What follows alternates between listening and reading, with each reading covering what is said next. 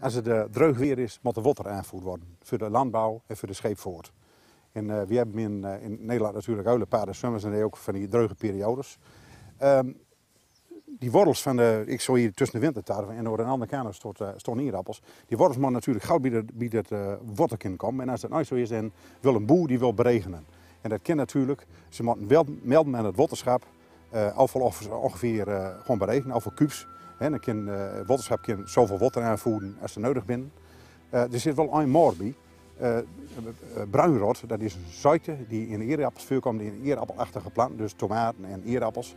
Dat komt van het plantje bitterzoet, dat is een soort bacterie. En als de bruinrot constateerd is, dan mag er in dat gebied nooit meer berekend worden. En uh, daar moet je natuurlijk heel erg opletten, want is een, uh, ja, als een site in hierappels zit, daar hebben ze geen belang bij. Um, wat mooi is van zo'n zo'n uh, regeninstallatie, wie hier bij een, bij een regeninstallatie, zoals je. Dit is een hele grote, ik ben hier trouwens in de veenkolonies.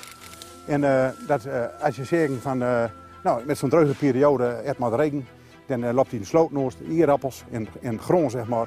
En als het dan uh, wordt, nou, dan loopt het regen.